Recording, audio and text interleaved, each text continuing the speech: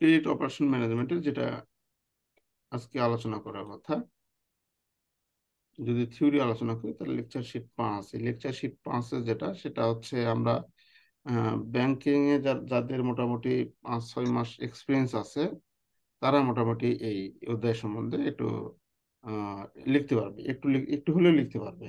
মানে এই অধ্যায়ে যেটা, সেটা মোটামুটি একটু আমাদের ব্যাংকারদের মানে একটু জাতগত অভ্যাস থেকে এই অধ্যায়টা আমরা মোটামুটি লিখতে পারব। ক্রেডিট মনিটরিং ঋণ মনিটরিং বা ক্রেডিট মনিটরিং কি? দেখুন, এখানে যে প্রশ্নগুলো আছে ক্রেডিট মনিটরিং কি ক্রেডিট মনিটরিং এর ধাপগুলো, এই ধাপগুলো কি? এগুলা হয়তো আমাদের জানা, জানতে হবে কি কি ধাপ আছে। ব্যাংকের জন্য ক্রেডিট মনিটরিং কেন গুরুত্বপূর্ণ? আমরা লোন যেটা আছে, সেই লোনগুলাকে আমরা মনিটরিং করব, এটা কেন গুরুত্বপূর্ণ? পর্যায় ভিত্তিক ক্রেডিট তত্ত্বাবধান, মনিটরিং এবং ফলো আপ নিয়ে আলোচনা করুন। এই শুধু ক্রেডিট সমস্যাগ্রস্ত ঋণ বা প্রবলেম ঋণ কাকে বলে? অপারফর্মিং লোনের কারণ, এই জিনিসগুলো এখানে আলোচনা করা আছে। আর্লি অ্যালার্ট লোনের যে আর্লি অ্যালার্টের কথা বলা আছে বা আর্লি অ্যালার্ট কি? এটা কিন্তু আমাদের এখানে বলা আছে যে আর্লি অ্যালার্ট কি বা প্রাথমিক সতর্কতা প্রক্রিয়া কি? তো আর্লি অ্যালার্ট সম্বন্ধে এখানে আমাদের আলোচনা করা আছে। জামানত সম্বন্ধে ঋণ রিশিডিউলিং সম্বন্ধে আমাদের এখানে আলোচনা করা আছে। রিশিডিউলিং কি? তো ঋণ পুনর্নির্ধারণ বা রিশিডিউলিং রিশিডিউলিং এর নির্দেশিকা, তারপর লোন রাইট অফ নীতিমালা ক্রেডিট রিকভারি কি ক্রেডিট সম্পর্কিত এখানে সমস্ত কিছু আলোচনা করা আছে। তো মোটামুটি এটা আমাদের অনেক কিছু নলেজ আগে থেকে আমাদের এই চ্যাপ্টারে আমরা রাখি। এই এই চ্যাপ্টারটা নিয়ে একটু মোটামুটি আজকে আলোচনা করব। প্রথমে এক নম্বর দেখব হচ্ছে হোয়াট ইজ ক্রেডিট মনিটরিং তো ক্রেডিট মনিটরিংটা এখানে এভাবে দিয়েছে যে ক্রেডিট মনিটরিং হলো একটি পরিষেবা যা গ্রাহকের ক্রেডিট প্রোফাইল এবং আর্থিক কার্যকলাপ পর্যালোচনা, নিরীক্ষা নিরীক্ষণ, মূল্যায়ন করাকে বোঝায়। এটি গ্রাহকের ক্রেডিট রিপোর্ট এবং ক্রেডিট স্কোরগুলি ক্রমাগত নজরদারি রেখে পরিবর্তনগুলি শনাক্ত করে। যেমন নতুন অ্যাকাউন্ট বিলম্বে অর্থ প্রদান বা পরিচয় অসঙ্গতি ইত্যাদি পর্যালোচনা ও নিরীক্ষণ করে থাকে। তো লক্ষণ ভাই কি ঢুকেছেন?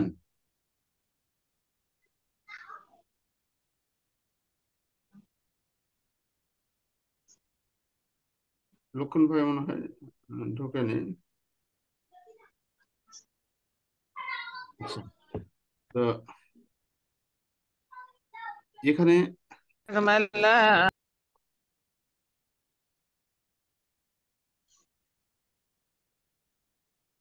এখানে যেটা বলা আছে তার ব্যাংকগুলি গ্রাহকদের ক্রেডিট অবস্থান সম্পর্কে অবগত থাকতে সম্ভাব্য জালিয়াতি বা ত্রুটি শনাক্ত করতে আসসালামু আলাইকুম ভাই।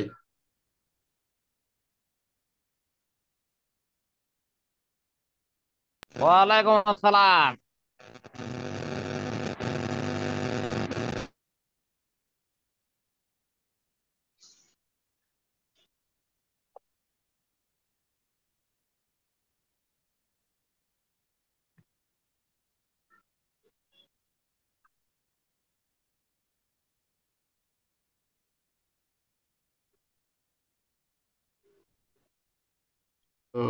সরি আমাদের এখানে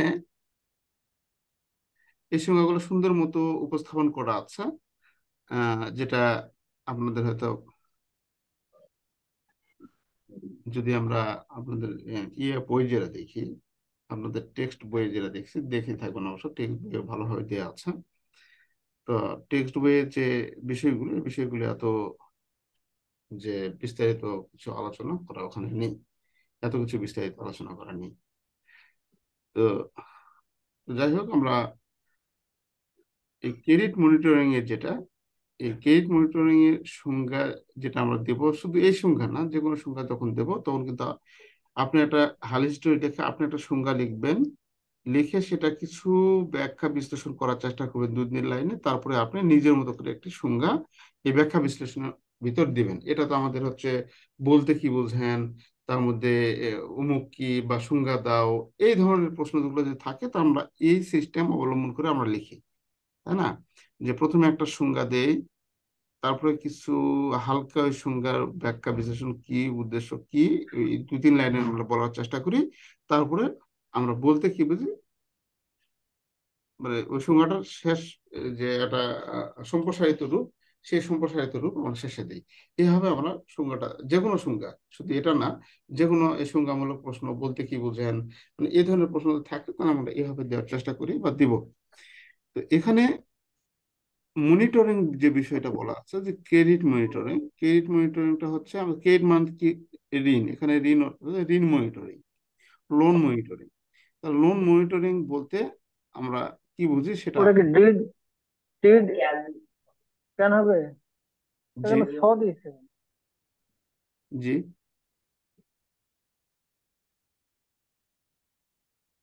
কোনটা?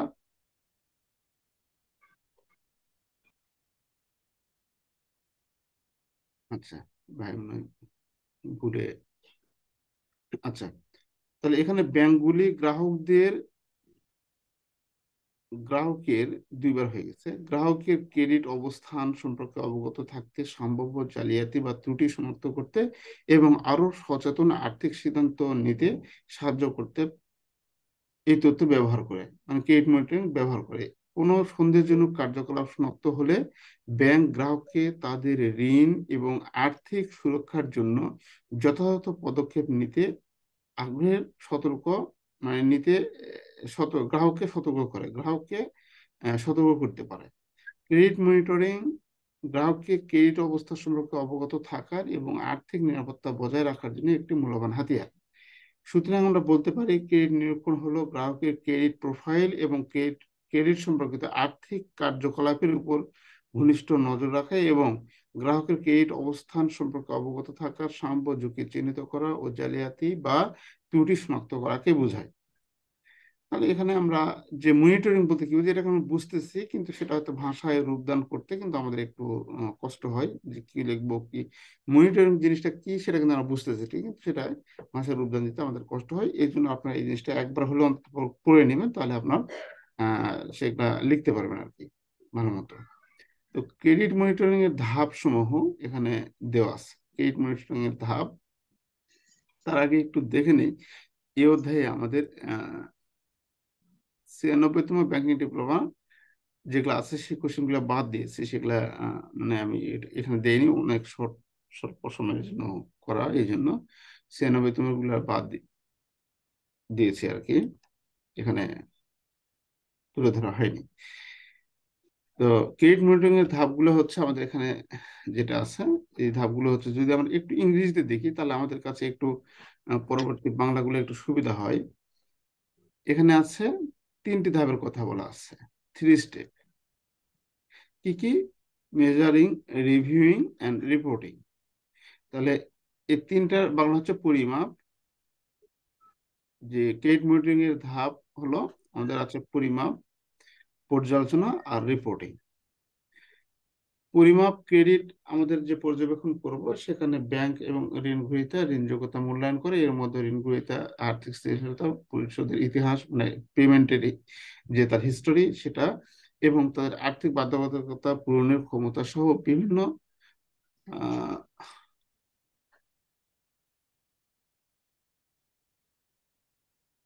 সহ বিভিন্ন কারণে মূল্যায়ন করে থাকে। ক্রেডিট ঝুঁকি পরিমাপের জন্য ব্যাংকগুলি ক্রেডিট স্কোরিং মডেল আর্থিক বিবৃতি অন্যান্য প্রাসঙ্গিক ডেটা ব্যবহার করে ব্যবহার করে ঋণগ্রহীতার ঋণযোগ্যতা গ্রহণ করে, গণনা করে। তো এখানে আমাদের কিন্তু প্রথমে এটি এটার কিন্তু আমাদের মনে রাখতে হবে যে পরিমাপ। যে পরিমাপের এটা যদি থাকে তাহলে আপনি কিন্তু লিখতে পারবেন এটার উপর। তারপরে আছে পর্যালোচনা পর্যালোচনা আচ্ছা আমাদের ক্রেডিট ঝুঁকি। যাক, এই জিনিসগুলা, এগুলা যেগুলা দেওয়া আছে, এই পয়েন্টগুলা একেবারে ইজি পয়েন্ট এবং আমাদের মনে রাখাটা হচ্ছে একটু টাফ যে কোনটা মনে থাকব বা কোনটা মনে রাখব না, এই জিনিসগুলো হচ্ছে একটু টাফ এটা অবশ্যই আমাদের মনে রাখতে হবে। যাই হোক মনিটরিং এর ধাপগুলো। ক্রেডিট মনিটরিং এর ধাপগুলো, এটা অবশ্যই আমরা মনে রাখব।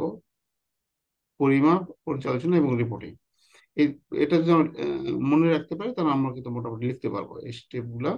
লিখতে পারব, এটা অত বেশি জটিল না। আর এই জিনিসটা, এই প্রশ্নটা অনেক ইম্পর্টেন্ট তিন নম্বর প্রশ্ন আমাদের। Why is the important of credit monitoring for the bank ব্যাংকের জন্য ক্রেডিট মনিটরিং করা কেন গুরুত্বপূর্ণ? তাহলে এখানে ব্যাংকের জন্য ক্রেডিট মনিটরিং এর গুরুত্ব গুরুত্বপূর্ণ কেন বা এর গুরুত্ব কেন? তো যাই এখানে আমাদের যদি আমরা এই প্রশ্নটা বানিয়ে লিখতে চাই, তাহলে কিন্তু আমরা নিজের থেকে অনেক পয়েন্ট দিতে পারব এখানে। প্রথমে আছে ঝুঁকি ব্যবস্থাপনা। কেন আমরা আমাদের ক্রেডিটটা মনিটরিং করি? ঝুঁকি ব্যবস্থাপনা, পরবর্তীতে লোনটা যেন আমরা সহজে ফেরত পাই। আমরা লোন সংক্রান্ত যে যে কোনো ঝুঁকি এখানে সহজে আমরা গ্রহণ করতে পারি।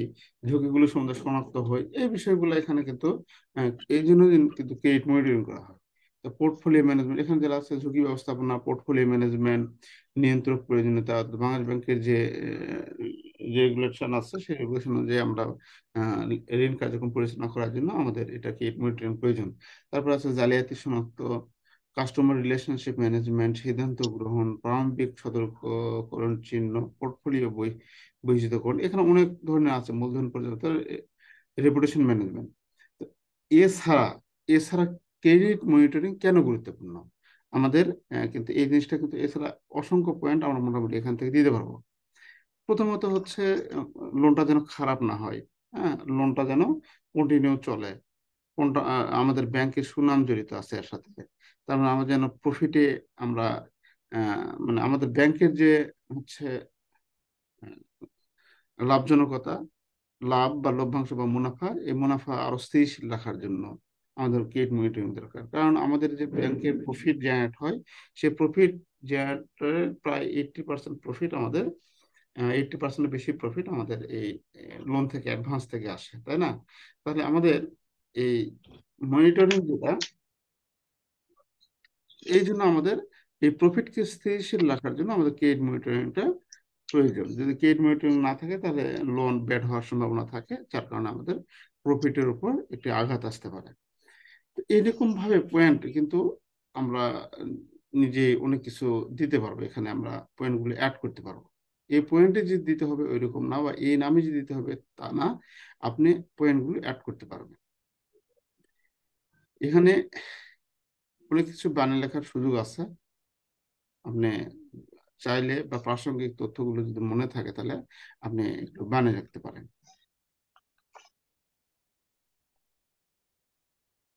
আর এখানে discuss stage wise credit supervision monitoring and follow up এই প্রশ্নটা আমাদের যেটা বলা আছে discuss the stage wise credit supervision monitoring and follow up এটা যদি বাংলা দেখি, পর্যায়ভিত্তিক আমাদের ক্রেডিট তত্ত্বাবধান মনিটরিং ফলো আপ নিয়ে আলোচনা করুন। এখানে পর্যায় অনুযায়ী ক্রেডিট তত্ত্বাবধান, পর্যবেক্ষণ এবং অনুসরণ নিম্নরূপ।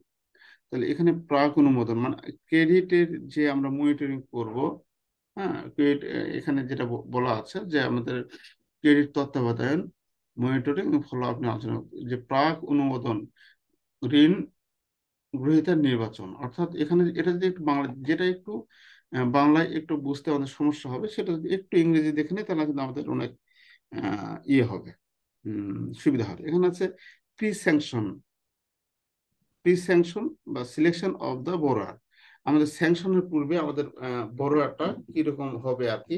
মানে কি কি আমাদের কাজ করণীয় কি কি, সেই জিনিসগুলো আমাদের নিশ্চিত করতে মানে এখানে লিখতে হবে। তাহলে প্রাক অনুমোদন স্যাংশনের পূর্বে আমাদের কি করণীয় আবেদনকারী পরিচয় নিশ্চিত করতে হবে, প্রদত্ত সমস্ত সেখানে নিশ্চিত করতে হবে, এইরকম বিষয় টিষয় এখানে লেখা আছে। তারপরে অনুমোদন পরবর্তী অনুমোদন পরবর্তী, এটা যদি একটু আপনার পড়তে একটু খটা লাগে, ঠিক এটা আপনি উপরের ইয়ে দেখবেন, যে post sanction and pre disbursement মানে স্যাংশনের পর এবং ডিসবার্সমেন্টের পূর্বে আপনার করণীয় কি। তাহলে স্যাংশনের পর অনুমোদন পরবর্তী এবং প্রাক বিতরণ, বিতরণের আগে বিতরণের আগে এই সময়টুকু আমাদের কি করতে হবে? সমস্ত শর্তাবলী আবেদনকারী অবহিত করা হয়েছে কিনা, আবেদনকারীর দ্বারা শর্তাবলী গ্রহণ হয়েছে কিনা, শিরোনাম, নথি, অন্যান্য কাগজপত্র সম্পর্কে আইনি মতামত প্রাপ্ত হয়েছে কিনা, এই জিনিসগুলো আমাদের করতে হবে। তারপরে বিতরণ পরবর্তী আমাদের, বিতরণ পরবর্তী যে কাজগুলো, সেই কাজগুলো আমাদের এখানে আছে যে এটা আছে এরকম ভাবে পোস্ট ডিসবার্সমেন্ট। মানে লোন কাস্টমার অ্যাকাউন্টে ডিসবার্স করার পর আমাদের কি কি ধরনের কাজ এখানে আছে? অ্যাকাউন্টের লেনদেন, নিয়মিত পর্যালোচনা মূল সুদ, পরিশোধ নিশ্চিত করা, এই জিনিসগুলো আমাদের কাজ। তো এটা হচ্ছে আমাদের পর্যায়ভিত্তিক ক্রেডিট, তত্ত্বাবধান, মনিটরিং এবং ফলো আপ নিয়ে আমাদের পর্যালোচনা এটা একটু দেখবেন একবারকে পড়ে যাবেন, হুবহু মুখস্থ করার দরকার নেই। আপনি এমনিতেই লিখতে পারবেন এটা। একবার দেখে যাবেন এবং সাতটা আছে সাতটা লিখতে হবে, ওরকম না। পাঁচটা, চারটা, তিনটা দেবেন না, পাঁচটা, চারটা করে আপনি লেখার চেষ্টা করবেন আর কি। আচ্ছা তো এখানে তারপরে আছে আমাদের প্রবলেম লোন প্রবলেম লোনের কথা বলা হয় সমস্যাগ্রস্ত লোন সমস্যাগ্রস্ত লোনটা কি? যেটা আমাদের চুক্তি শর্ত অনুযায়ী যারা টাকা দেয় না, সেটা হচ্ছে আমাদের কাছে সমস্যাগ্রস্ত লোন তাই না? চুক্তি শর্ত অনুযায়ী যেটা, যারা আমাদের টাকা দেয় না, তার বাধ্যবাধকতা পূরণ করার না, সেটা হচ্ছে সমস্যাগ্রস্ত লোন সমস্যাগ্রস্ত ঋণ হলো, ঋণ গ্রহীতার আর্থিক প্রোফাইল খারাপ হতে পারে বা অর্থ প্রদানের সময় লঙ্ঘন হতে পারে, যা ব্যাংকের সুরক্ষিত অবস্থানের অবনতির হওয়ার সম্ভাবনাকে বোঝায়। কোনো ঘটনায় ব্যাংক যদি মনে করে যে ঋণটি একটি উচ্চ ঝুঁকি ঝুঁকি তৈরি করছে, তাহলে এই ধরনের ঋণগুলোকে সমস্যা হিসেবে বিবেচনা করা হয়।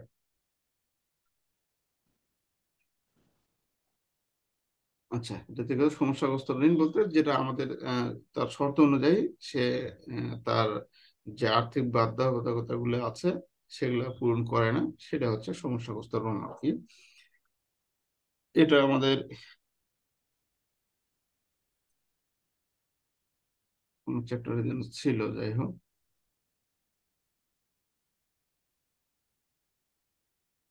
এখানে সমস্যাগ্রস্ত লোনের পরে এখানে যেটা বলা আছে যে সমস্যাগ্রস্ত লোনের যে কারণগুলি আছে কারণগুলি আমাদের আলোচনা করতে হবে।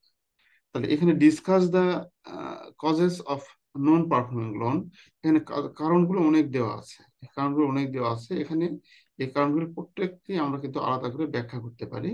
কিন্তু এখানে শুধু কারণটা তুলে ধরা হয়েছে যে অপারফর্মিং লোনের সমস্যাগ্রস্ত লোনের এখানে নন পারফর্মিং লোনের নন পারফর্মিং লোনের কি চাইছে? কারণ চাইছে। এই কারণগুলো দেখে নেবেন। একবার দেখে এখানে প্রায় কত, কতটি? আঠারোটি আমাদের কারণ লেখা আছে। আঠারো কারণের মধ্যে কমপক্ষে আটটি, দশটি আপনার যে কয়টি মনে থাকে, সে কয়টি আপনি লেখার চেষ্টা করবেন আর কি যে অপারফর্মিং লোন কেন হয় হ্যাঁ? এটা, আমরা একবার দেখলে আমরা এটা বুঝতে পারব।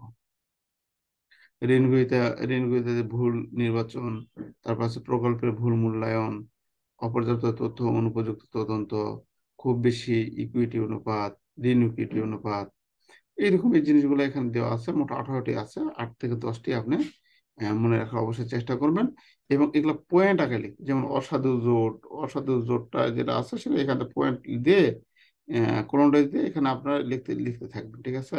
মানে এক লাইনে লিখতে, কিছু অসাধু লিনের কারণে আমাদের অসাধু জোটের কারণে আমাদের ভুল জায়গায় আমরা লোন হয়তো সিলেকশন করি বা লোন দিয়ে থাকি, যার ফলে আমাদের লোনটা পারফর্ম করে না। যে একটা সময়, নির্দিষ্ট সময় পর লোনটা পারফর্ম করে না। এইভাবে আমাদের লিখতে হবে। অর্থাৎ আমাদের মোট যদি এই পয়েন্টগুলো একটু ভালো জানি, তাহলে আমরা এটা লিখতে পারব আর কি। তো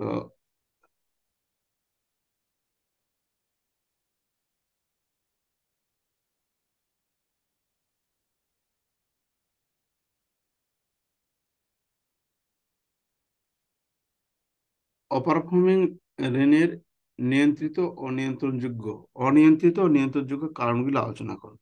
এখানে এই প্রশ্নটা অনেক ইম্পর্টেন্ট যে আমাদের যে লোন পারফর্মিং করে না, সেটা হচ্ছে অপারফর্মিং লোন অর্থাৎ যারা ঠিক মতো কিস্তি দেয় না, সেটা হচ্ছে অপারফর্মিং লোন এই অপারফর্মিং লোনের অনিয়ন্ত্রিত অনিয়ন্ত্রিত এবং নিয়ন্ত্রণযোগ্য কারণগুলি। এখানে যে কারণ আছে, এখানে যে কারণগুলো আছে, এটা এটা অপারফর্মিং লোনের যে কারণগুলি, ঢালাওভাবে আলোচনা করা আছে।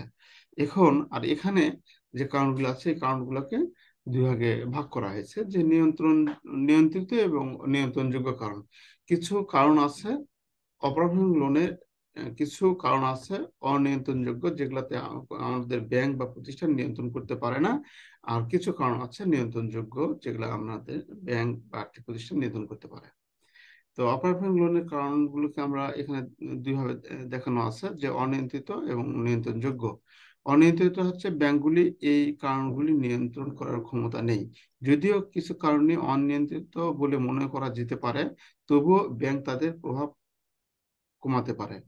এই কারণগুলি নিম্নরূপ, এক প্রাকৃতিক দুর্যোগ, টাইফুন, দাবানল, খরা ইত্যাদির কারণে আমাদের এই যে লোনের অপারেশন হয় নন পারফর্মিং হয়, সেগুলো হচ্ছে আমাদের কাছে অনিয়ন্ত্রণযোগ্য। কারণ প্রাকৃতিক কোনো কিছুর উপর তো আমরা হাত দিতে পারব না। তারপরে সরকারি নীতি সরকারি নীতির কারণে আমরা এখানে লোনের পারফরমেন্স খারাপ হতে পারে।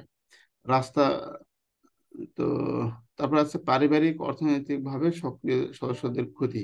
যদি পারিবারিক ভাবে সক্রিয় ব্যক্তিদের যে মৃত্যু হয়, তাহলে সেটা আমাদের সে লোনটা নন পারফর্মিং হয়, সেগুলো হচ্ছে আমরা নিয়ন্ত্রণ করতে পারি না। স্থানীয় বা জাতীয় অর্থনীতি বৃদ্ধিতে মন্থরতা। খামার পণ্য কম বাজার মূল্য এরকম কিছু পয়েন্ট এখানে দেওয়া আছে, পাঁচটা পয়েন্ট দেওয়া আছে, যেগুলো হচ্ছে আমরা নিয়ন্ত্রণ করতে পারি না। চাইলেও নিয়ন্ত্রণ করতে পারি না। বা কোনো ব্যক্তি তার লোনটা খারাপ দিকে নিয়ে যায়। এরকম কারণে থেকে খারাপ দিকে কিন্তু কিছু কিছু কারণ আছে যেগুলো হচ্ছে নিয়ন্ত্রণযোগ্য, যেগুলো আমরা ব্যাংক নিয়ন্ত্রণ করতে পারে। কি কি? সুস্পষ্ট এবং ধারাবাহিক ঋণ প্রদান এবং সংগ্রহ নীতির অভাব। এগুলো আমাদের যদি সুস্পষ্ট ধারাবাহিক ঋণ প্রদান এবং সংগ্রহ নীতির অভাব যদি থাকে, তাহলে আমরা এটা নিয়ন্ত্রণ করতে পারি। সুস্পষ্ট এবং ধারাবাহিক ঋণ প্রদান। আমরা যে সুস্পষ্টভাবে, ধারাবাহিকভাবে একই ব্যক্তিকে ঋণ প্রদান করতেই থাকি করতেই থাকি এবং আমরা যে ঋণ রিকভারি করব, সেই রিকভারি যদি আমাদের নীতিটা যদি পলিসি খারাপ থাকে তাহলে আমরা সেটাকে কি করতে পারব? নিজেরা সেটা সংশোধন করতে পারব। অপরাধ নিয়ন্ত্রণ একটি অগ্রাধিকার নয়। এখানে যেটা বলা আছে যে deficiency delinquency control is not priority এখানে আমাদের ডিলিকুয়েন্সি যে অপরাধ বা অসাধু ব্যক্তিবর্গ যারা আছে এদেরকে নিয়ন্ত্রণ অগ্রাধিকার আমরা দেই না যারা, সেটা আমরা অগ্রাধিকার দিয়ে এই কাজটা করব যে যাদের অসাধু ব্যক্তিবর্গ আছে সেই অসাধু ব্যক্তিবর্গকে আমরা চিহ্নিত করে আমরা যে ঋণ নীতিমালা আছে, সেই ঋণ নীতিমালায় আমরা আমরা আমরা তাদের ঋণ প্রদান করব না। অর্থাৎ দেখা যাচ্ছে যে একই ব্যক্তি আমাদের সমাজের দেখা যাচ্ছে যে অনেক মানীয় ব্যক্তি আছে, অনেক লোন আছে, কিন্তু সে যে অসাধু, তার যে লোন রিপেমেন্ট হিস্টোরি এটা কিন্তু আমরা জানা, কিন্তু আইনি ভাবে সে হয়তো ওইরকম তার ইয়া নেই। সে এখনও দেউলিয়া ঘোষিত হয়নি বা সে ওইরকম হয়নি। কিন্তু আপনি, আমি কিন্তু স্বাভাবিকভাবে জানি যে সে হচ্ছে এরকম মানে লোন নিয়ে তার রিপেমেন্ট হিস্টোরিটা খারাপ।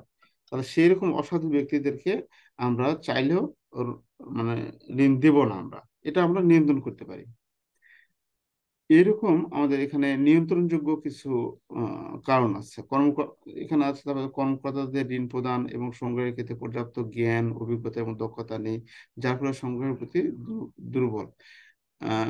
ঋণ যে সংগ্রহ করব সেই পদ্ধতিটা দুর্বল। তাহলে এখানে আমাদের যদি কর্মকর্তাদের কোনো জ্ঞানের ঘাটতি থাকে বা তার অপর্যাপ্ত জ্ঞান, অভিজ্ঞতা যদি কম থাকে, তাহলে আমরা তাদেরকে সেখানে সরিয়ে সেখানে অভিজ্ঞ লোকদের আমরা স্থলাভিষিক্তকরণ করব।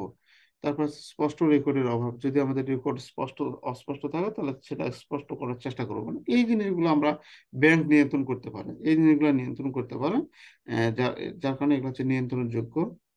আর উপরেরগুলো হচ্ছে আমাদের অনিয়ন্ত্রণযোগ্য। তো আপনাদের শুধু অনিয়ন্ত্রণযোগ্যটাও চাইতে পারে, আবার নিয়ন্ত্রণযোগ্যটা চাইতে পারে। তবে চাইলে এই প্রশ্নটা আপনাদের আপনাদের আসতে পারে যে অপারফর্মিং লোনের বা নন পারফর্মিং লোনের বা ঋণের নিয়ন্ত্রণযোগ্য, অনিয়ন্ত্রণযোগ্য কারণগুলি আলোচনা করুন তো এখানে যেটা কারণটা দেওয়া আছে, এই কারণটাও আমরা যেটা দেওয়া আছে, এই কারণটা এককভাবে ঢালাভাবে দেওয়া আছে, আর এখানে আমাদের দুটা আলাদাভাবে আমাদের করা আছে। এরপর আছে আমাদের early alert process early alert process early alert প্রক্রিয়া কি? আর্লি অ্যালার্ট প্রক্রিয়া আমাদের এটা হচ্ছে ব্যাংকারদের একটা রক্ষা কবচ বলা যায় যে কোনো ঋণ যদি পারফর্ম না করে প্রথমেই কিন্তু অডিট এসে দেখে আর্লি অ্যালার্ট যদিও আমি ক্রেডিটে কাজ করা হয়নি, তারপরে আমি দেখেছিলাম যে অডিট লোকজন আসে কিন্তু আর্লি অ্যালার্টের একটা যে চিঠি বা তাদেরকে জানানো হয়েছে কিনা, এই ধরনের চিঠি কিন্তু আপনার আগে দেখে, খোঁজে। তো এটা যদি না পায়, তাহলে আপনার কোনো সমস্যা হতে পারে বা আপনার বিরুদ্ধে অ্যাকশনে যেতে পারে। তো এই জন্যই যারা আমরা লোনের সাথে কেইটে যারা সংযুক্ত আছি বা কেইটের বাইরে যারা সংযুক্ত আছি, তাদের এখন তো আর এম কোডে ইয়ে হয়, প্রত্যেকের কোডে আলাদা আলাদা লোন দেখাইতে হয় প্রত্যেকে ইয়ে দেখাতে হয়। এখন শুধু কেইট অফিসার না, এখন সব অফিসার কেইট অফিসার হয়ে যায়। তো এই জন্য যার যার এন্ডে আছে, বিশেষ করে ফোর্থ জেনারেশন ব্যাংকে যারা কাজ করে তাদের প্রত্যেকের সে যদি জীবিত থাকে তাকে লোন দিতে হবে। সে ক্যাশে থাকলে লোন দিতে হবে ক্রেডিটে থাকলে তো কথাই নেই। তো এরকম প্রত্যেকের একটি লোনের ইন্ডিভিজুয়াল ইয়া থাকে। এখন সেই যার আরএমএ থাকবে হ্যাঁ, যার যার একটা কোড নাম্বার থাকে এক এক ব্যাংকে কোড নাম্বার বলে। আমাদের ব্যাংকে লাস্ট যে ব্যাংকে ছিলাম সেই ব্যাংকে আরএম বলতো RM code RM code number তো আরএম কোড নাম্বার যার যেটা আছে, সেই কোড নাম্বারে আপনার লোন রেকর্ড থাকে। ওই লোন খারাপ হলে সেই লোন যে আরএম মানে যে দিয়েছে তাকে ধরবে। কিন্তু যে ক্রেডিট অফিসার বা কি তাকে কিন্তু ধরতে যাবে না। এটা হচ্ছে ফোর্থ জেনারেশন যে ব্যাংক সেই ব্যাংকগুলোতে এরকম খেলা চলে আর কি। তো যাই হোক, এই প্রাথমিক যে সতর্ক প্রক্রিয়া, এটা হচ্ছে একজন অফিসারের রক্ষা কবচ। একজন অফিসারের রক্ষা কবচ। আপনি কোনো লোন যদি অপারফর্মিং হয় নন পারফর্মিং যদি লোন হয়, তাহলে সেক্ষেত্রে কিন্তু অডিট এসে কিন্তু এটাই দেখ- দেখতে চাই যে আপনার, আমি বহুবার অডিট ফেস করেছি এনআরবি ব্যাংকে থাকতে বহুবার অডিট ফেস করেছি এবং এই জিনিসগুলো অডিট আসে, দেখতে চাই।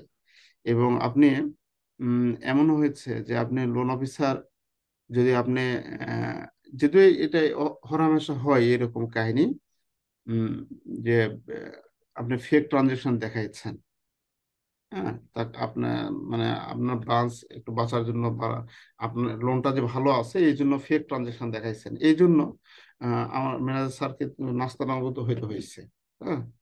তো এটা হচ্ছে ইন্টারনাল অডিটে বাংলাদেশ ব্যাংক অডিট তো বাদ। বাংলাদেশ ব্যাংক অডিটে আসছিল সেটাও অনেক ঝামেলা হয়। তো এই জিনিসগুলো কখনো আমরা করতে যাব না। এখন না করলেও নয়। আমাদের যে জিনিসগুলো, এগুলো কিন্তু না করলেও নয়। কারণ করতে হয় ব্যাংকের সাথেও দে- করতে হয়। আবার ব্যাংকের সাথে কোনো কারণে লোন ওইরকম হয়ে গেলে তখন দেখা যাচ্ছে ম্যানেজারের গলা কাটাও হয়ে যায়। মানে উভয় সংকট বা উভয় বিপদে পড়ে আমাদের করতে হয়। তো যাই হোক, মোটামুটি আমরা আমাদের যেন ওইরকম কোনো আমরা ফাঁদে না পড়ি। তো ব্যাংকারদের রক্ষা কবচ হচ্ছে এই প্রাথমিক সতর্কবার্তা। যে কোনো লোন যখন আপনার পারফর্ম করবে না, প্রথমে এসে তা ওটা দেখে যে এই আর্লি অ্যালার্ট যে চিঠি আপনি যে দিয়েছেন তাদের সেই চিঠিটা ওরা দেখতে চায় এটা যাই হোক আমার সে যারা লোনের যে ভাইরা আছে সে আহ, বেশি এক্সপিরিয়েন্স আমার চেয়ে অনেক বেশি এক্সপিরিয়েন্স এবং তারা ভালো বলতে পারে আমার চেয়ে ভালো বলতে পারে তো আমার যতটুকু এক্সপিরিয়েন্স সেই খাতিরে আমি এটা আলোচনা করলাম আর কি। তো এই প্রাথমিক সতর্কবার্তা এটা জিনিসটা কি হচ্ছে?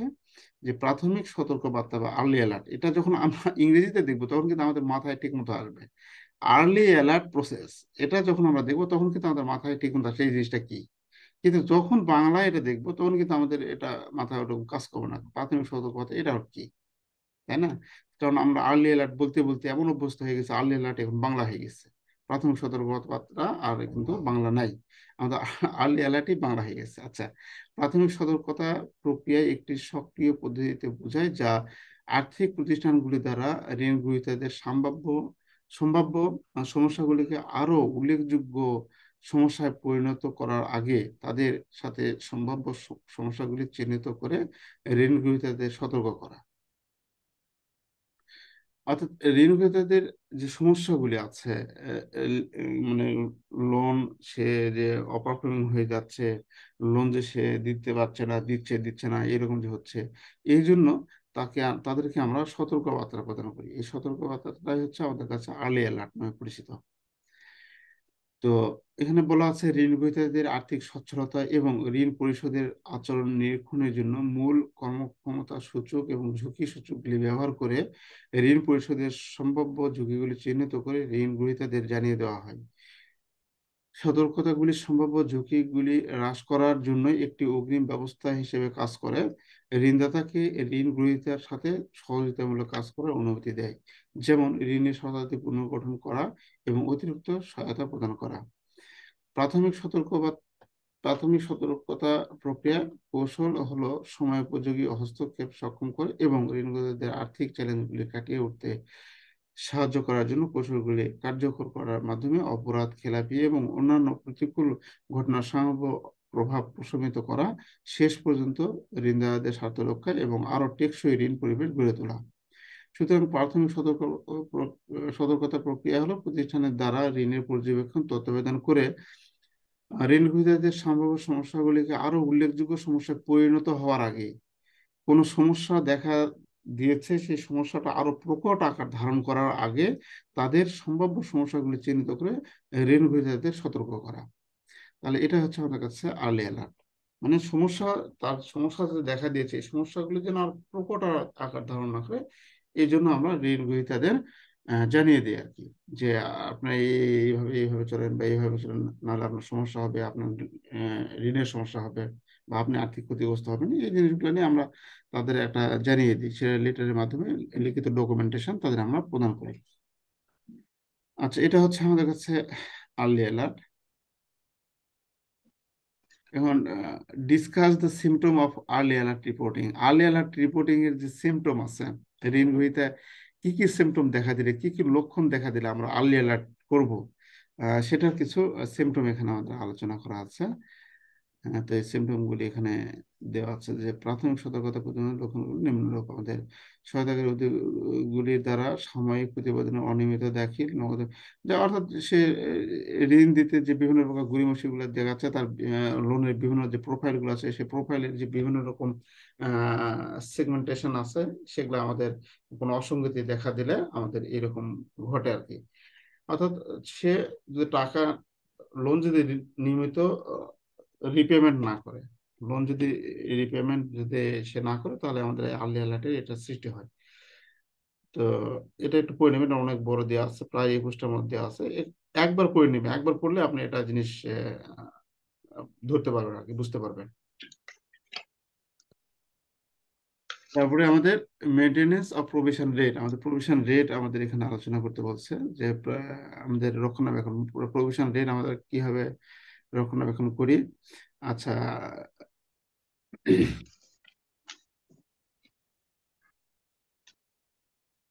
এখানে প্রবেশনের সুরক্ষণের হার আলোচনা করুন, ঋণের বিভাগ।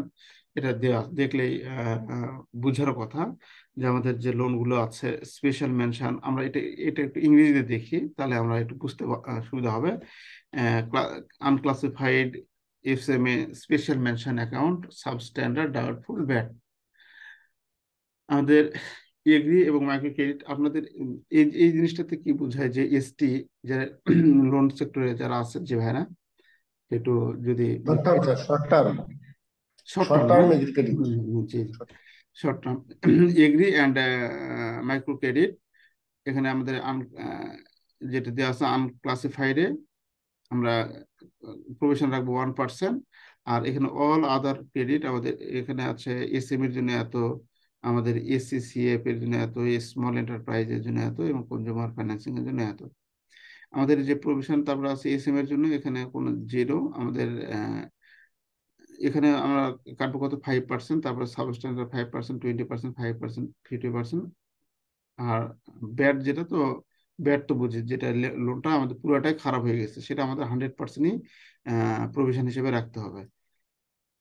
এটা একটু দেখে নেবেন, এটা তো আসতে পারো না পারো অতটা বেশি জরুরি না। কিন্তু এখানে উপযুক্ত জামানত কত পরিমাণ লিয়েন করা হয়? আমাদের ঋণের উপযুক্ত জামানতের জন্য কত পরিমাণ লিয়েন করা হয়? সেই জিনিসটা এখানে আমাদের একটু আলোচনা করা আছে। যে ঋণের বিপরীতে এটার এগনিস্টে এটার এগনিস্টে একটা অঙ্ক আছে। কোনটা? এটা এটা? হ্যাঁ উপযুক্ত জামানত কত পরিমাণ লিয়েন করা হয়? গতবার একটা অঙ্ক আছে দিকে base for provision hmm base for provision ও আচ্ছা আচ্ছা। না এটা বেস ফর প্রভিশন না। বেস ফর প্রভিশন আসছে যে কোলাটারালের কত অংশ? যেমন ধরো স্যার আমরা যে টিন শেডের আসছিল তিরিশ লক্ষ টাকা। টিন শেডের আমরা কিন্তু সিকিউরিটি ভ্যালু ধরি নেই। Plan value fifty percent hundred percent FDR যেটা এটা হান্ড্রেড পার্সেন্ট এভাবে একটা অঙ্ক আছে।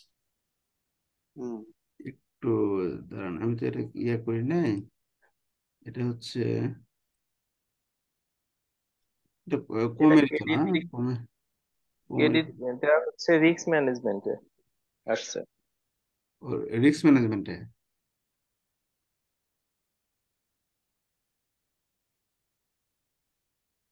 এই যে প্রথম পেজে আছে।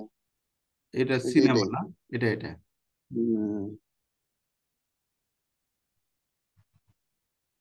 কোলাটেরাল সিকিউরিটির আগে বের করতে হবে আগে।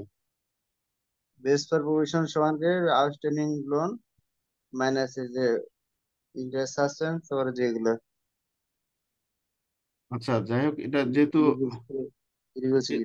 এই ধরনের আপনাদের ইয়ে বইয়ে কিন্তু ইয়ে দেওয়া নেই মানে হচ্ছে কি মানে অঙ্কের এই উদাহরণগুলো দেওয়া নাই হ্যাঁ। এগুলো হয়তো আপনারা যারা জানেন হান্ড্রেড পার্সেন্ট যারা শিওর তারা অবশ্যই যদি দিতে পারেন, দিবেন। কিন্তু যারা শিওর না, তারা কিন্তু আমরা দিতে যাব না। কারণ দিতে গিয়ে আমরা ধরা খাব না। পুরাটাই তখন আমাদের চলে যাবে মার্কটা। আর যারা আপনারা শিওর যারা জানেন এবং লোনের যারা কাজ করেছেন, তারা এটা দিতে পারেন। যে, যেহেতু আপনাদের জানা আছে। গতবার অঙ্ক যেহেতু এবার অঙ্ক হয়তো দিবেন, এবার হয়তো বা এই যে কাটাই দিবে। যে প্রভিশনের যেটা আয়ার সেগ্রিগেশনটা আছে এটা ওনার দিতে হবে আমার এটা হুম যেটা আলোচনা করলেন স্যার এই যে হুম, প্রভিশনের আচ্ছা আচ্ছা। যেহেতু প্রশ্ন সবেমাত্র একবার হইলে তো প্রশ্নের গঠন কাঠামোটা এটা বোঝা কঠিন। আর যে আগের যে চ্যাপ্টারের অঙ্কগুলো আছে ওই অঙ্কগুলোর সম্বন্ধে আমাদের ব্যাপক একটা ধারণা ছিল যে রেশিও অ্যানালিসিস কি অঙ্ক দিবে আমাদের হচ্ছে ইয়া সম্বন্ধে ওই যে ক্যাপিটাল বাজেটে কি কি অঙ্ক দেয় ওয়ার্কিং ক্যাপিটাল কি কি অঙ্ক দেয় এরকম একটা ধারণা আগে থেকে খুব ছিল আমাদের যার কারণে ওটা ওগুলো করেছি আর কি। আর এটাতে ওরকম ধারণা নেই এবং আমাদের যে একটু কিছু উদাহরণ দেবে আমাদের এই ধরনের থাকবে এরকমও কিন্তু এখানে দেওয়া নেই। হুম? মানে আমাদের যে এখানে কিছু আছে যে গাণিতিক কিছু ট্রাম আছে এই ট্রামের ভিত্তিতে ওরা নিজেরাই আহ, অঙ্কগুলো বানিয়ে দিয়েছে আর কি। যাক দেখি আমরা আরও দুই একবার গেলে আমরা বুঝতে পারব যে আমাদের স্টেবিলিটি আসবে কোশ্চিনের যে কোথা থেকে কি কি কি টাইপ কোশ্চিন হয় আর কি তো এখান থেকে তাহলে আমাদের ওই অঙ্কটা আমরা সলিউশন করতে পারব। এখানে যে আমরা কোন সম্পদের, কোন জামানতের বা কোন সম্পদের বিরুদ্ধে কত পার্সেন্ট লেন করা হবে, সেটা এখানে আমাদের লেখা আছে। আচ্ছা।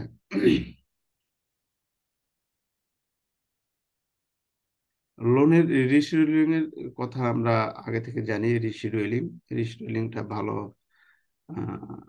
আমরা যারা, বিশেষ করে যারা অ্যাডভান্সে কাজ করে বা কেইটে কাজ করে, যারা অ্যাডভান্স বা কেইটে যারা বা লোনে কাজ করে, এই কথায় তারা কিন্তু এই এই অধ্যায়টা কিন্তু তাদের কাছে অনেক, অনেকটাই সহজ অনেকটাই সহজ। তো রিশিডিউলিং লোন, লোনের রিশিডিউলিংটা কি? আমরা যদি এটা দেখতে যাই তাহলে রেস্টুরেন্ট হচ্ছে ঋণ পুনর্নির্ধারণ। আপনারা বাংলা কিংবা ইংরেজি যেটাই দেখুন না কেন আপনারা যদি বাংলায় কোনো প্রশ্ন যদি আপনার সমস্যা হয় বা বুঝতে সমস্যা হয় সঙ্গে সঙ্গে ওই প্রশ্নের ইংরেজিটি অংশ দেখবেন। বাংলায় অ্যান্সার করেন সমস্যা নাই কিন্তু সঙ্গে সঙ্গে ওই হ্যাঁ, প্রশ্নের ইংরেজি অংশটি দেখবেন। দেখলে আপনার বাংলাটা ক্লিয়ার হয়ে যাবে। এটা স্যার পূর্ণ তফসিল পুনঃ তফসিল লিখলে কথার মনে ভালো হতো স্যার। পূর্ণ তফসিল না? জি জি পূর্ণ তফসিল। পূর্ণ তফসিল পূর্ণ নির্ধারণ না পূর্ণ তফসিল? পূর্ণ তফসিল। এটা বিশেষ করে স্যার বিআরপিটি ষোলো এখন নতুন করে বের হয়েছে নতুন।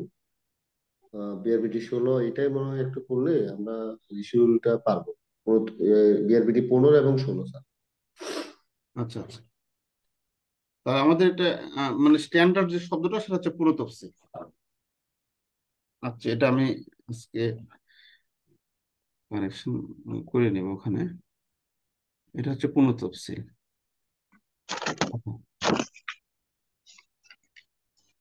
এখানে যেটা এক লাইনে যেটা পড়ে বোঝায় যে ঋণ পূর্ণ তফসিল এটা পূর্ণ তফসিল কথা ইউজ করে? এটা হ্যাঁ, ঋণের পুনঃতফসিল বলতে একটি ঋণ গ্রহীতা বা ঋণদাতার বিদ্যমান ঋণ চুক্তি শর্তাবলী সামঞ্জস্য করার প্রক্রিয়াকে বোঝায়।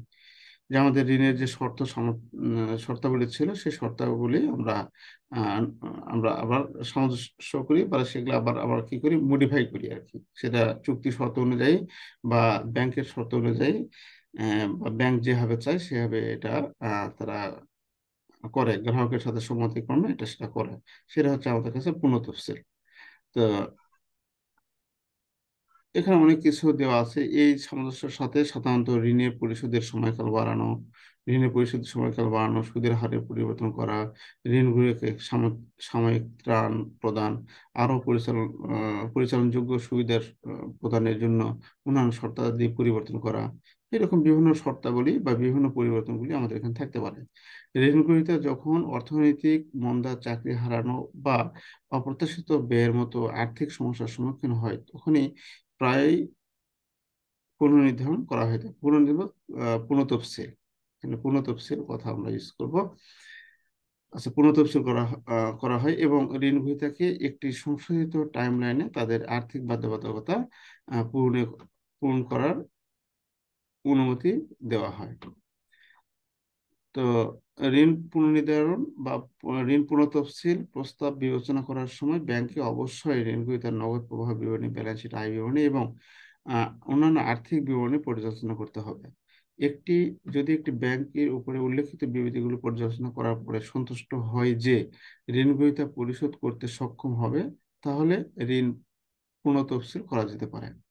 অন্যথায় ব্যাংক ঋণ আদায়ের জন্য আইনগত পদক্ষেপ গ্রহণ করে। সুতরাং ঋণের পুনর্নির্ধারণ বা পুনঃতফসিল স্যার জি।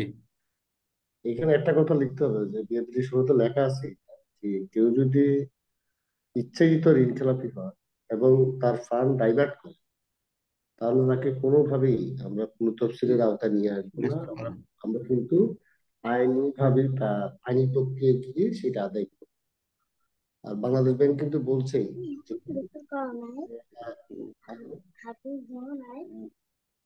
বাংলাদেশ ব্যাংক কিন্তু বলছে এটা কখনো মানে করা যাবে না যদি সে যদি ইচ্ছাকৃত উইলিং ফর উইলিং যদি ডিফল্ট হয় এবং এবং আরেকটা হচ্ছে সে যদি ফান্ড ডাইভার্ট কোনো অবস্থাতে আমরা কোনো তফসিল করব না। স্বইচ্ছা প্রণোদিত হয়ে এবং ফান্ড যদি ডাইভার্ট করে নিয়ে যায় আরেক জায়গায় তাহলে সেটা হচ্ছে কখনো কোনো ক্রমে টলারেন্স না। টলারেন্স করা যাবে না এই তো। আচ্ছা আচ্ছা থ্যাংক ইউ থ্যাংক ইউ এইটা আমি আজকে অ্যাড করব এর সঙ্গে। এটা একটু চেঞ্জ হবে। এটা পুরোটাই চেঞ্জ করে দেবো আজকে। চেঞ্জ করে যদি আপনারা চান তাহলে আমি সেই শিটটা আবার পাঠিয়ে দেবো আপনার হোয়াটসঅ্যাপে দেবো ধরে নাকি? আচ্ছা তো আচ্ছা থ্যাংক ইউ থ্যাংক ইউ লক্ষণ ভাই। এটা মানে অ্যাড করার জন্য। তাহলে আমাদের যদি নিজে স্ব ইচ্ছা প্রণোদিত হয়ে সে যদি এরকম আমাদের লোনটা খারাপ অবস্থানের দিকে নিয়ে যায় এবং সে যদি ফান্ড ডাইভার্ট করে, তাহলে কোনো ক্রমে সেটা পুনঃ তফসিলি সম্ভব নয় বা সম্ভব করা যাবে না। আচ্ছা।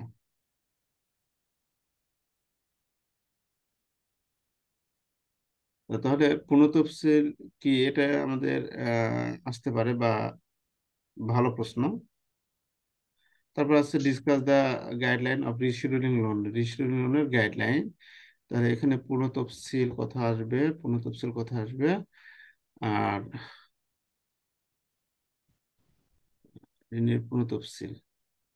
নির্দেশিকা আলোচনা করো যে বাংলাদেশ ব্যাংকের যে গাইডলাইন আছে, বাংলাদেশ ব্যাংকের যে গাইডলাইন আছে সেই গাইডলাইন আলোকে এই নির্দেশিকাটা তৈরি করা। মোট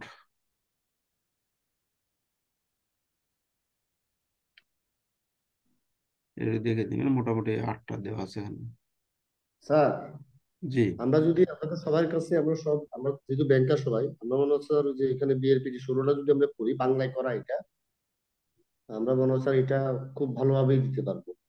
এবং এখানে পুরো তফসিলের যে আমরা ডাউন পেমেন্ট কীভাবে গ্রহণ করব কত পার্সেন্ট গ্রহণ করব কত বছর সময় পাবো টার্ম লোনের ক্ষেত্রে আমি পুরো তফসিলের সময় কত পাবো ডাউন পেমেন্ট কত দিতে হবে চলমান বা চলমান ঋণের ক্ষেত্রে আমরা কতটুকু ডাউন পেমেন্ট নিতে পারব, কতটুকু সময় পাবো সব কিছু বিআরপিটি ষোলোতে স্যার বাংলায় লেখা আছে স্যার আচ্ছা এটা বিআরপিটি ষোলো তাহলে এটা একটু গ্রুপে আপনার ইয়ে আছে তো না? পিডিএফটা আছে। আচ্ছা না হলে এটা ডাউনলোড করে আমি গ্রুপে দিয়ে দিব, আপনারা ওখান থেকে হেল্প নিতে পারবেন।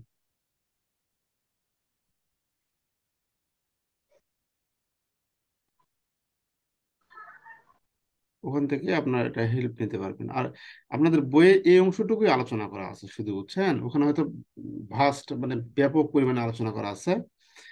আর এখানে আপনাদের বইয়ে যেটা আলোচনা করা আছে শুধু এইটুকুই আলোচনা করা আছে যে ঋণ পূর্ণ তফসিল কি?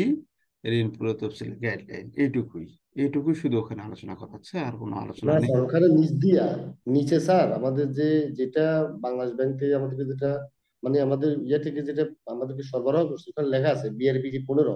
নিচ দিয়ে স্যার একটা তথ্য দিছে। হ্যাঁ হ্যাঁ হ্যাঁ কিন্তু হ্যাঁ ষোলো কিন্তু বিআরবিজি ষোলো কিন্তু তখন দেওয়া হয়নি।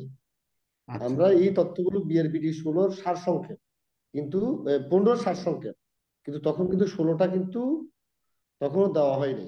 কিন্তু ষোলোতে আরও সুন্দর করে ব্যাখ্যা দিচ্ছে স্যার। বিআরপিডি ষোলো তখনও হয়নি মানে? এটা বুঝলাম না একটু। মানে বিআরপিটি ষোলো সার্কুলার কি তখনও পাবলিশড হয়নি? বিডি ষোলো হয়েছে স্যার বিআরবিডি পনেরো হয়েছে তো বারো সালে।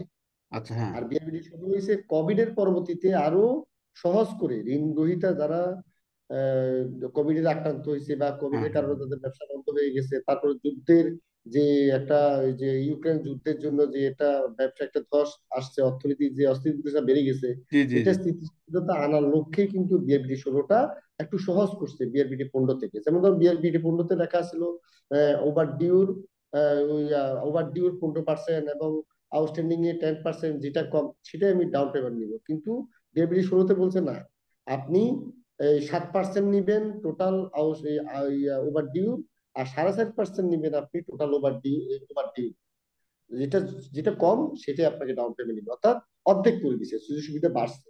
আবার বাংলাদেশ ব্যাংক এখানে বলছে যে, এই যে আমি যে আমরা যে নমনীয়তা করছি, এটা, এর থেকে কোনো নমনীয়তা আর করা যাবে না। ব্যাংকের স্ব পরিচালনা পর্ষদকে বলে দিছে, আপনারা নিজস্ব অঙ্গীকে আপনারা এটা তৈরি করেন। তবে কোনো অবস্থাতে আমরা যেটা নমনীয়তা দেখাইছি, সেই নমনীয়তা থেকে আর নমনীয়তা করা নমনীয়তা যাতে না করা হয় এটা। আচ্ছা থ্যাংক ইউ থ্যাংক ইউ আমি দেখি বিআরপিডি যে বিআরপিডি বারো না বিআরপিডি বলেন হচ্ছে ষোলো। বিআরবিডি ষোলো। বিআরপিডি ষোলো এটা আমি ডাউনলোড করে আমি আহ, বিআরবিডি ষোলো লিখে স্যার রিসুডেল লিখবেন রিসুডেল বিআরবিডি ষোলো ফর আচ্ছা আচ্ছা। আচ্ছা ওটা আমি তাহলে আমি গ্রুপে দিয়ে দিব ওটা মানে ওটা- এখানে একটু অ্যাড করি রিশিডিউলিং এখন ব্যাংকগুলো নিজেরাই করতে পারবে। আগে বাংলাদেশ ব্যাংকে পাঠাতে হতো।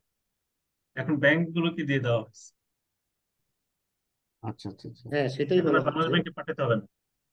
না বাংলাদেশ ব্যাংক লাগে। নিজস্ব ব্যাংক তাদের নিজস্ব পরিচালনা পর্ষদ কর্তৃক এটা করা হয় স্যার।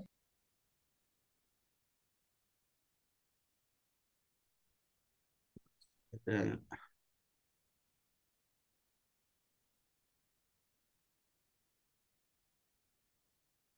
আচ্ছা তাহলে আমরা বিআরপিডি যদি দু হাজার ষোলোটা দেখি তাহলে আমরা মোটামুটি একটু ভালো ক্লিয়ার মোটামুটি তো ভালো একটা ক্লিয়ার দু দুই হাজার ষোলো দিবেন না স্যার বিআরপিডি শুধু ষোলো দিবেন। বিআরপিডি শুধু ষোলো দিবেন ষোলো।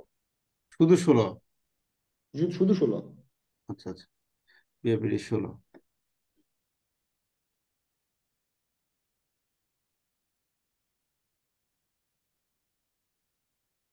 আচ্ছা বাদ বাকি যে আছে লোন রাইট অফ এর নীতিগুলো এটা একটু দেখে নেবেন আপনারা এটা আমি আলোচনা করছি না। আর যে কয়টি আছে আমরা পরের দিন পরে একটা দিন দেখব দেখে এটা শেষ করে দেবো। আর এর ফাঁকে আমরা যে অঙ্কগুলো আছে অঙ্কগুলো এক একটা দিন আমি সমস্যাগুলো শুধু আলোচনা করব।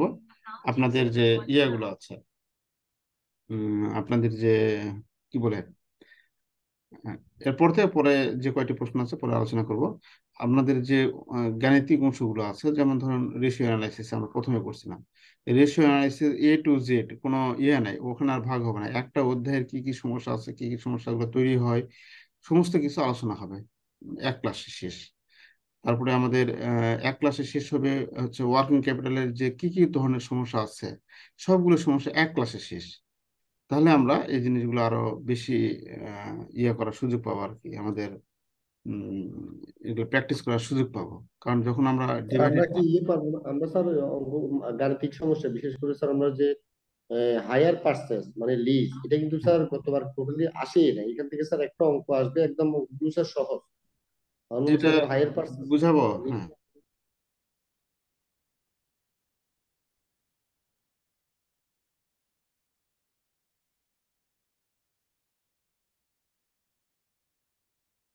হ্যাঁ হ্যাঁ লক্ষণ ভাই বলেন কি বলেন ভাই বলেন তো। বলছিলাম যে স্যার যেহেতু গতবার লিজ এক টোটালি ধরেই নাই আমরা মনে হয় স্যার এখানে একটা ম্যাথ সহ একটা অঙ্ক ম্যাথ সহ একটা এখানে আমরা ইয়ে পাবো দুইটা হয়তো কোয়েশ্চেন পেতে পারি। আমার মনে হচ্ছে লিজের চ্যাপ্টারটা একটু স্যার আপনি একটু সময় দিয়ে আমাদের ম্যাথটা একটু স্যার একটু ইয়ে করে দিচ্ছেন আচ্ছা লিজের লিজের যে ম্যাটটা ওই ম্যাটটা আমার রেডি আছে আপনার যদি বলেন যে আজকে আজকে আজকে আর হবে না আপনার কালকে কালকেই। মানে এটা হচ্ছে কি আপনাদের একটু একটু দেখায় যে পাঠাই দিয়ে আমাদেরকে পাঠিয়ে দিন আমরা সব দেখব। আমাদেরকে পাঠিয়ে দিন এটা হচ্ছে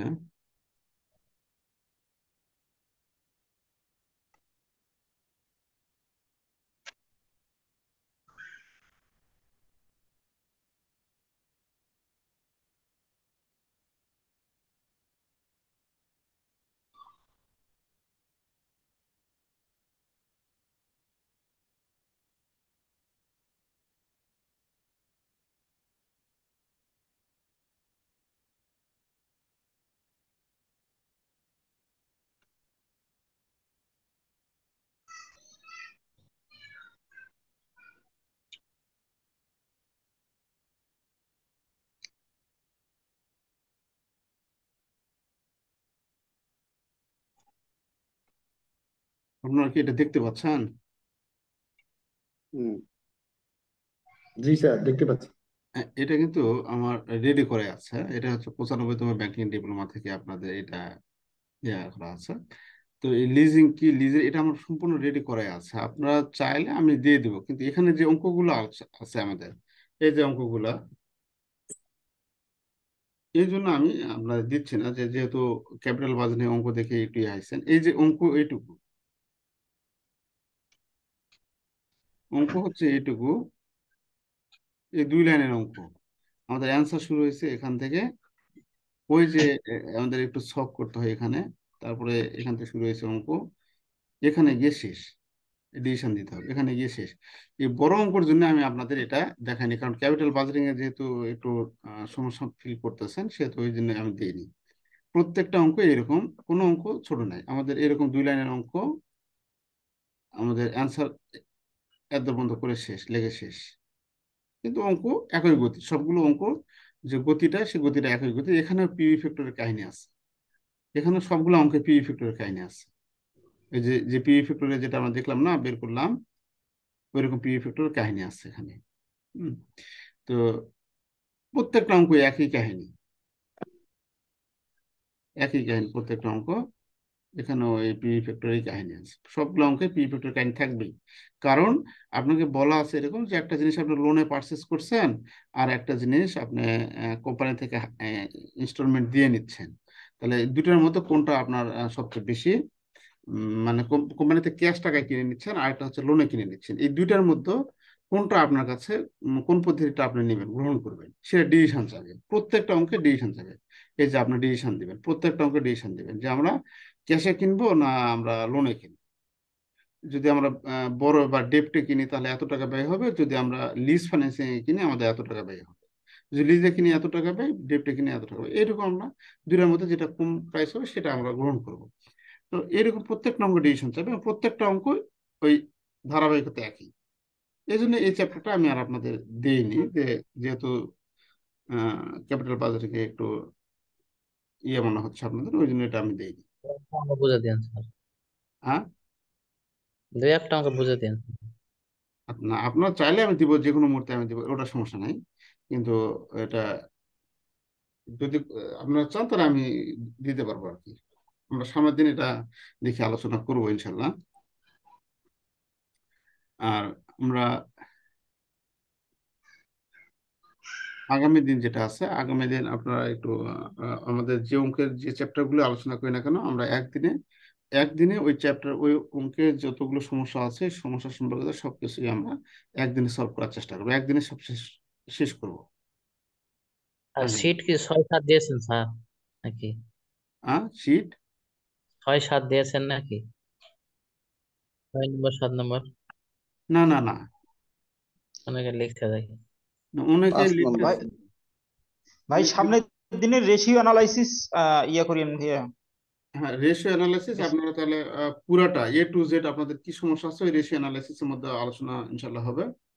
আর সামনে সামনের দিনে করিন ভাই সেটা কবে করবেন এটা জানাইয়েন আর হ্যাঁ আগামী আগামী আগামী কমের ক্লাস যেদিন আছে সেদিন। Ratio analysis A to Z আমাদের কি কি ধরনের সমস্যা হয় সেই সমস্যাগুলো শুধু আলোচনা করব। অঙ্ক পুরাটা এ টু জেড কিন্তু আমি মানে প্রত্যেকটা অঙ্ক কিন্তু ওইভাবে হ্যান্ড টু হ্যান্ড আলোচনা আমি করব না হাতে হাতে আলোচনা করব না। আমি যে একটা অঙ্কের সমস্যা হয় সেই সমস্যাগুলো আমি আলোচনা করব। যে ঠিক ঠিক আছে। আর আপনারা যদি লক্ষণ ভাই আপনি কি বের হয়ে গেছেন আপনি জানি না। যদি আপনি ওই ইয়াটা পিডিএফটা যদি থাকে তাহলে পিডিএফটা আপনি গ্রুপে একটু শেয়ার করবেন। আর না হলে আমি দেখে আমি ডাউনলোড করছি। আমি কালকে শেয়ার করে দিচ্ছি। আচ্ছা ঠিক আছে। না আমার আমার কাছেও আছে আমি দিতে পারছি হ্যাঁ, আচ্ছা আচ্ছা গ্রুপে একটু শেয়ার করে দিবেন সবাই একটু উপকার হবে। আমার কাছে হার্ড কপি আছে আমি দিতে পারব না। জি জি জি তাহলে আজকে এখানে রাখছি আমরা আগামী দিন আহ, আপনারা এই যেটা ইয়ে আছে অধ্যায়টা শেষ করে নেবেন অনেক একটা ইজি অধ্যায় মোটামুটি একটু ইজি আছে আপনারা একটু দেখে নেবেন। না স্যার এখানে এখানে আরও একটা জিনিস আছে যে বিশেষ করে আমরা এনপিএল ম্যানেজমেন্ট প্লাস এখানে যে আমরা রিকভারি যে সাইডে আছে লিগ্যাল মেজার এবং নন লিগ্যাল মেজারে লিগ্যাল মেজারে যে বিশেষ করে মানি লোন কোর্ট আছে দুই হাজার তিন এটা হ্যাঁ। একটু কষ্ট করে আপনি আলোচনা করবেন। আমার মনে হচ্ছে এটা ওই প্রশ্নটা আসবে ওটা ওটা সরি বাদ গিয়েছে। ওটা বলা আমার ছিল। থ্যাংক ইউ থ্যাংক ইউ ওটা বলা উচিত ছিল, কিন্তু আমি আসলে এটা আবার আরেক লাইনে চলে গেলাম, যার কারণে আমি বলতে পারলাম সর্বশেষ যে প্রশ্নটা, সর্বশেষ যে প্রশ্ন, সেই প্রশ্নটা অবশ্যই খুব বেশি ইম্পর্টেন্ট খুবই বেশি ইম্পর্টেন্ট আমি বলব আপনাদের, আমি ভুলে গেছি, আরেক লাইনে চলে গেলাম, আমি ভুলে গেছি, তবে ওটা ওই ইম্পর্টেন্ট ওই প্রশ্নটা কিন্তু খুবই ইম্পর্টেন্ট আপনারা একটু দেখবেন ওটা। সামারি দুই হাজার মানে যে ও টাইমটা যেটা আছে সেটা আমাদের সামারিটা চাইছে হ্যাঁ? ওই প্রশ্নটা ইম্পর্টেন্ট আসার মতো প্রশ্ন আসার মতো প্রশ্ন আপনারা একটু দেখবেন একটু। সর্বশেষ যে প্রশ্ন, অধ্যায়ের সর্বশেষ প্রশ্ন। আরও এর মধ্যে অনেক কিছু আলোচনা আছে, সেই আলোচনাগুলো স্কিপ করা হয়েছে অবশ্য মানে ওই লেকচার শিটে স্কিপ করা হয়েছে। তবে ওই প্রশ্নটা একটু দেখবেন, ওটা অনেক গুরুত্বপূর্ণ প্রশ্ন। ঠিক আছে আগামীকাল ইনশাল্লাহ মানে এই দিন আমাদের পেইড অপারেশন যেটা আছে আমাদের এই অধ্যায় ভিত্তিক যে এই অধ্যায়ের আর তেমন ইয়ে নাই আপনারা পরবর্তীগুলো একটু দেখে নিন ক্লাস তো স্যার আজকে শুক্রবার শনিবার মানে আর আর তিনটা চারটে ক্লাস তিনটা চারটে ক্লাস হয়েছে আচ্ছা আচ্ছা আজকে কি বার আজকে গেল? আজকে তো বুধবার। বৃহস্পতিবার বুধবার হ্যাঁ। বুধবার কালকে বৃহস্পতিবার। কালকে এটা আছে? না কালকে তো নেই। তারপর শুক্রবার শনিবার আছে না? শুক্র শনিবার আছে হুম। না শুক্র শনিবার। আরও স্যার মোটামুটি শুক্র স্যার শুক্র শনিবার কি নয়টায় না দশটায়? নয়টায় নয়টায়। চার দিন চার দিন। শুক্র শনি নয়টায়। এখন উম, আপনারা থ্যাংক ইউ আপনারা অনেক হেল্পফুল অবশ্য অনেক ইনফরমেশন দিয়ে হেল্প করতেছেন যেটা উম, ভালো লাগতেছে খুব। যে আপনারা অনেক হেল্পফুল তো যে আপনাদের কাছে যে সার্কুলার বা কোনো কিছু থাকবে সেটা একটু গ্রুপে অ্যাড করবেন যাতে সবাই উপকৃত হবে। আমরা সবাই ব্যাংকিং ডিপ্লোমা প্যারা থেকে মুক্তি চাই। হুম? মানে বেঁচে যায় আর কি তো ঠিক আছে সবাই ভালো থাকবেন। আগামী দিন ইনশাল্লাহ দেখা হবে।